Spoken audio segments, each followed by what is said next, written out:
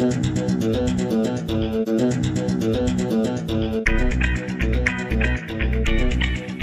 Mike Sokol, and welcome to the How To RV seminars, where we will learn all about RV electrical preparedness.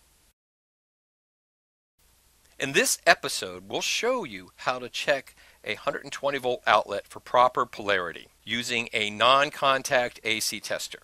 So here I have a Fluke VoltAlert, which is available in most any hardware store for less than $30. I push the button and it beeps twice and a little light blinks on. It lets us know that it is in fact powered up.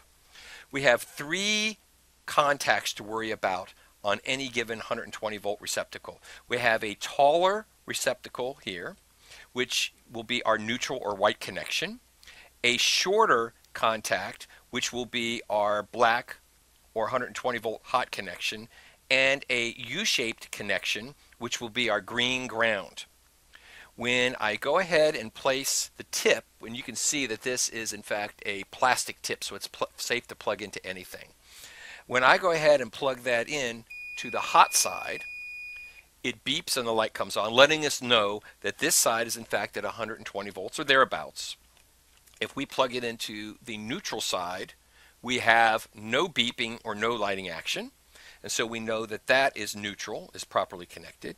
And when we push this down into the U-shaped connection, you can see that there's no action. And that tells us that that's close to zero volts. So what that means is every time you check a receptacle, you should go first, verify that the hot is correct by, by beeping, the neutral should not beep, and the ground should not beep. In the event that you have any sort of polarity reversal, please contact an RV technician or electrician immediately to deal with the problem. Do not plug your RV into an improperly wired connection since that can cause a dangerous hot skin condition. Thanks for watching the How To RV videos. Please subscribe to this channel for more information on RV electrical preparedness. I'm Mike Sokol. See you next time.